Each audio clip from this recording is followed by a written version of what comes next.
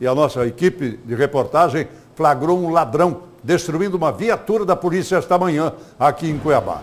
Ele foi preso após roubar uma mulher que estava numa motocicleta aguardando no sinal de trânsito.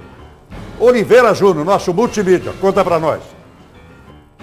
Dois elementos que foram presos em flagrante cometendo roubos na região da Avenida dos Trabalhadores. Eles foram perseguidos pela polícia, chegaram aqui na viatura e agora vão ser ouvidos pelas autoridades policiais. Veja aí as bolsas das vítimas que eles roubaram. A polícia perseguiu, conseguiu prendê-los em flagrante e agora um deles lá está inclusive tentando esconder o rosto lá para não ser identificado.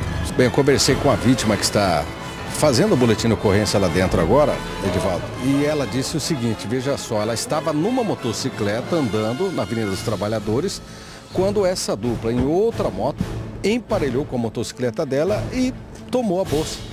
Então, eles não estavam armados. Então foi exatamente assim. Emparelharam a moto, renderam a vítima, tentando desequilibrá-la para ela cair da moto, puxaram a bolsa e foram embora. Só que a polícia, os policiais aí do. Olha só. Olha só o flagrante aí, ó. Olha o preso aí estourando a viatura da polícia. Hein? Destruiu o vidro aí e vai ser autuado também por dano ao patrimônio público. Não bastasse o assalto à vítima, agora eles vão ter mais um crime imputado a eles.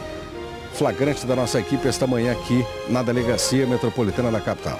Eles fizeram essa situação aí de querer dar uma de coitado e acabaram depedrando, chutando ali com os pés, quebraram os vidros da viatura nossa aí da, da SORP 04, viatura da prefeitura. Mas é, esperamos aí que a justiça possa ser feita e que esses dois indivíduos aí fiquem um tempo fora das ruas aí para dar um pouco mais de tranquilidade para nossa sociedade. Ele, como é que foi o, o, crime? Eles emparelharam a moto e roubaram a bolsa da vítima? Sim, a guarnição a gente tinha assumido a serviço agora às seis da manhã para deslocar, fazer o policiamento na UPA da Morada do Ouro.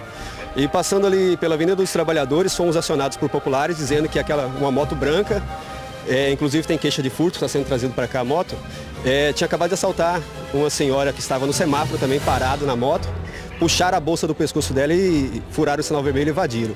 Nós conseguimos fazer o acompanhamento e solicitamos apoio via rádio. Aí, quando eles viram que estava sendo perseguido, desceram da moto e pularam o portão de uma casa. O primeiro pulou, quando o segundo estava pulando o portão, em cima do portão, nós conseguimos fazer a detenção desse primeiro. O segundo, ele ficou pulando de telhado em telhado, nós pedimos apoio da, das viaturas do terceiro, a viatura do Rotan também, Rotan 05 compareceu e deu apoio a nós. E aí conseguimos fazer a detenção dele escondido nos cômodos de uma das casas. Avisamos os moradores, os moradores saíram da casa, entramos, fizemos o adentramento e, e logramos êxito em, em encontrá-lo escondido dentro de uma sapateira, agachado dentro de uma sapateira, no último cômodo. Não, não foi localizado arma. Segundo a vítima também, ela não visualizou arma. Eles apenas empalharam a moto e subtraíram a bolsa dela mediante um puxão à força. Com imagens de Valdeir Moraes, Oliveira Júnior para o Cadeia Neles.